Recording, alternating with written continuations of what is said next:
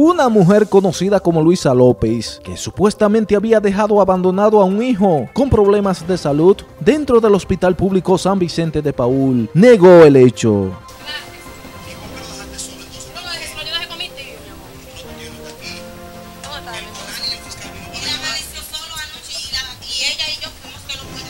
Mientras que mujeres que se encontraban en la sala repudiaron la acción. Ella se fue ayer a las 12, a lo que dice el señor, ella se fue ayer a las 12 y no volvió.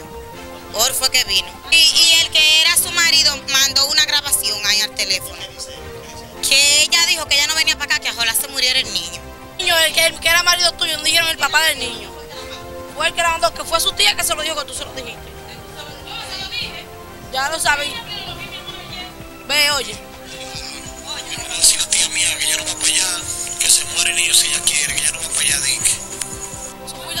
Mandaste decir, yo no sé de ahí para allá.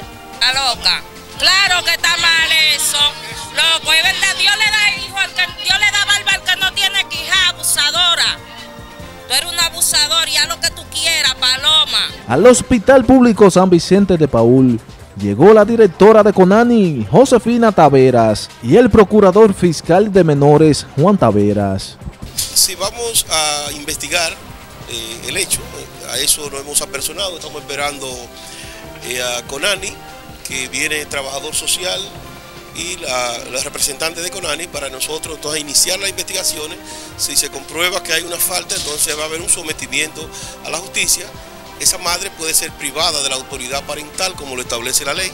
Se le hace una demanda al tribunal para que ese niño vaya a una institución de Conani que le da albergue porque a partir de ahora vamos a investigar y le daremos a ustedes eh, los resultados de la investigación.